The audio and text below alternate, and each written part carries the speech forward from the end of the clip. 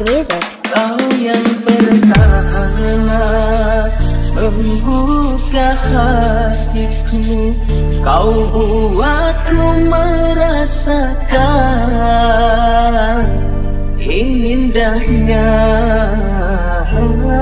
jatuh cinta